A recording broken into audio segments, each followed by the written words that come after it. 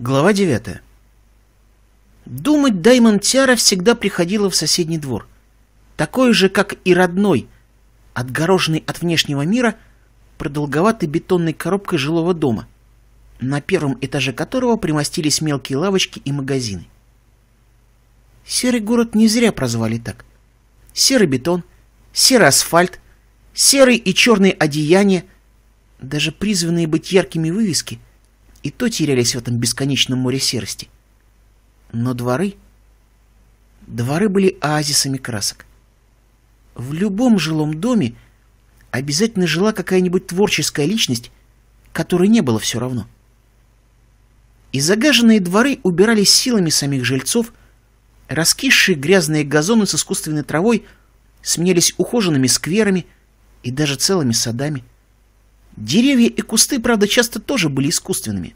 Хорошая почва и вода стоили весьма недешево, да и воздух в сером городе оставлял желать лучшего. Безликие же стены расцветали граффити и настоящими картинами, и, как правило, все вносили какой-то вклад. Конечно, так происходило далеко не везде. Были банды хулиганов, которым доставляло удовольствие ломать плоды чужих трудов. Были откровенные трущобы — где безразличие и злоба множились на всеобщую тупость. Но в этом дворе скверик и вправду выглядел вполне прилично. Насколько Даймонд знала, содержали его почти все жители. Были среди них и неразлучная семерка пони из главной серии во главе с Твойликорном, и строгая старушка Синтет с почти седой копной когда-то рыжих волос, которая требовала, чтобы к ней обращались не иначе, как Аскотян, а еще две молодые инопланетянки — со щупальцами на головах. У голубокожей было несколько коротких, а зеленая обладала всего двумя, но зато свисающими почти до ягодиц. Даймонд иногда приходила сюда, посидеть в относительном покое. В своем дворе за ней могли наблюдать из окна подруги, а иногда хотелось уединения. По крайней мере, от знакомых. Что еще во дворике было хорошо, так это то, что никто не лез с расспросами. Только Аскотян однажды поинтересовалась, кто Даймонд такая, и та вкратце объяснила. С тех пор никто не беспокоил пони в ее размышлениях, за что Тиара была предельно благодарна. Потому что, когда тебе лезут в душу, даже из самых лучших побуждений, это не всегда вовремя. Даймонд уселась на давно облюбованную скамеечку под раскидистым ненастоящим деревом, и уже погрузилась была в мысли о собственной никчемности и неспособности дать что-либо тем, кто стал дорог в этой жизни. Но в этот раз во дворе наблюдалось какое-то нехарактерное оживление. Тиара не сразу обратила внимание, пока в общем гомоне голосов, более возбужденных, чем обычно, не расслышала такой знакомый цокот понящих копыт. Подумалось было, что возвращается кто-то из семерых живущих здесь пони, но нет — как оказалось, во двор вошли трое синтетов, приличная одежда которых не позволяла заподозрить их в такой глупости, как житье на окраинах серого города. Первым был Рейнбу Блиц, жеребцовая версия Дэш, впряженный в небольшую тележку. Одет он был в чистый и даже с виду дорогой джинсовый костюм с какими-то нашивками, придающими Пегасу вид и даже угрожающий. Усиливали впечатление большие темные очки. Второй была очень бледная, голубовато-серебристая крылатая пони с белоснежной гривой, которая выделялась посреди всего белым пятном, как будто бы кусочек зимы влез в раннюю осень. Даймонд вспомнил ее имя — Сноудроп. Помнится, в клуб как-то приходила одна такая, и была она гладиатором со страшными и безумно острыми мечами. И в качестве вишенки на торте еще и абсолютно слепой хотя на звук и вибрацию ориентировалась просто невероятно. Даймонд сошла с ней только раз, в тренировочном спарринге, после чего отказалась от поединка всерьез. Ей еще дороги были конечности. А вот Дэш Вендер вышла на тот бой и победила. И даже не покалечилась. Даймонд стиснула зубы. Ну почему все, буквально все вокруг должно напоминать об арене или борделе? Мелькнула мысль о том, что это может быть та самая Сноудроп. Но Тиара сразу отмела такое предположение. Не весь мир вращался вокруг пониплея. Да и не выглядела поняшка накачанным бойцом. Скорее наоборот. Третьей же пони была незнакомая серая фестралка с гривой зеленоватого оттенка, одетая столь ярко, что рябила в глазах. Ядовито-зеленые штаны, малиновая куртка, какие-то разноцветные ленты и радужная повязка на голове. В глазах рябило от такой безвкусицы. Стало интересно, что такие странные пони забыли в этом дворе? Но вскоре вопрос прояснился сам собой. Рейнбо Блиц выпрягся из тележки, после чего поколдовал с управлением, и та разложилась в небольшой лоток. Пару секунд позже над ним загорелась вращающаяся голограмма-надпись «Бесплатные обеды». Сноудроп уселась рядом, достав звякнувшую коробку плошек и ложек, а фестралочка взяла на изготовку большой черпак. Даймонд криво усмехнулась. Благодетель. Извечная понячья доброта многим не позволяла проходить мимо чужой беды, и зачастую самих цветных лошадок доводила до отчаянного положения.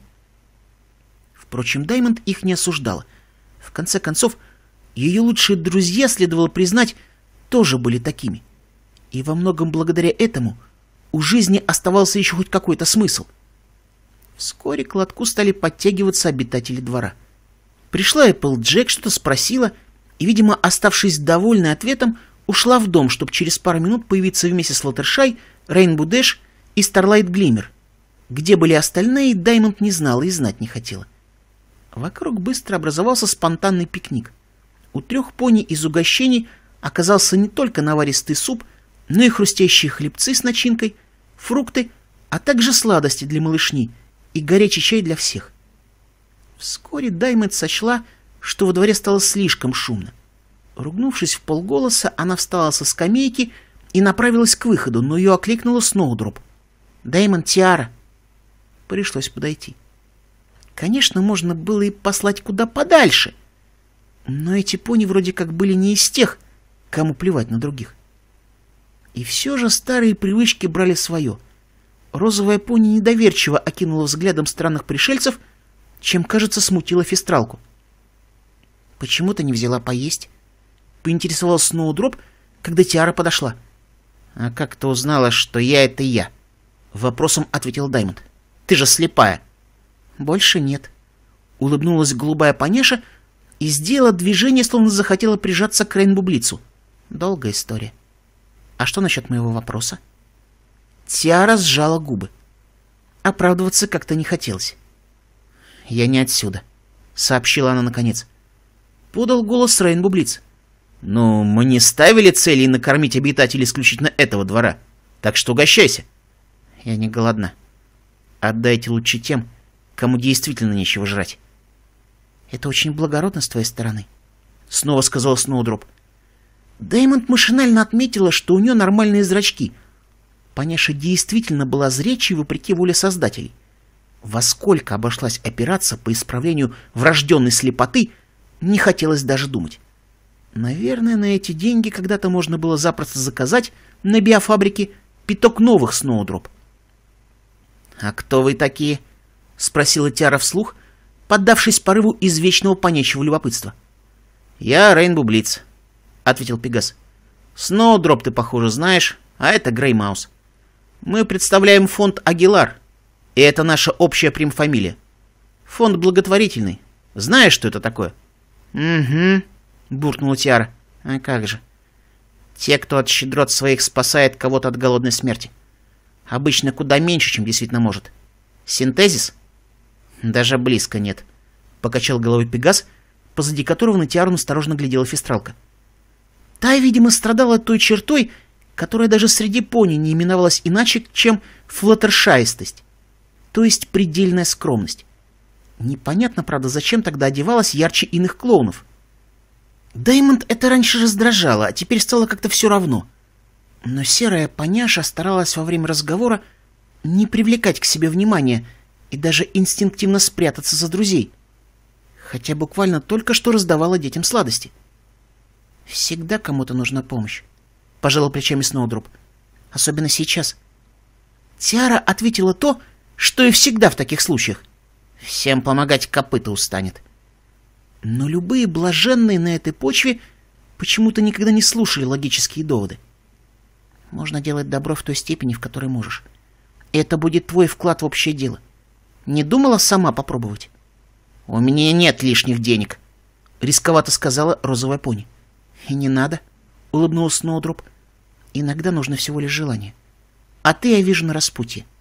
«Что значит «вижу»?» — нахмурилась Даймонд. «На мне написано, что ли?» «Я эмпат», — пояснила Пегаска. «И когда ты подошла, почувствовала. К тому же, когда пони сидит одна во время веселого праздника, то явно не просто так». А какой еще вопрос может настолько волновать в наше время? «Я бывший гладиатор!» — рубанула Даймонд. «И шлюха! Как вам такая благотворительность?» «А я работал в борделе до Хартии», — подал голос Рейнбу Блиц. Пусть еще тронул крылом фестралочку. А Грей вообще была на положении домашнего питомца.